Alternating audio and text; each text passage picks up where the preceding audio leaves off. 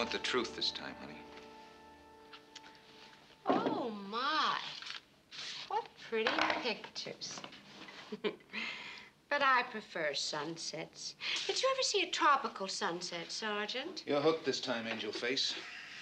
That's what you call in my business hard evidence. Pictures? Pictures you took. I can hold you on at least six assorted felony charges. I wonder if you can. Unless there's a law against taking pictures in this state. You and a couple of your uh, friends have been playing some kind of sick game. I want to know the rules. I still haven't the slightest idea what you're talking about. Maybe this will jog your memory.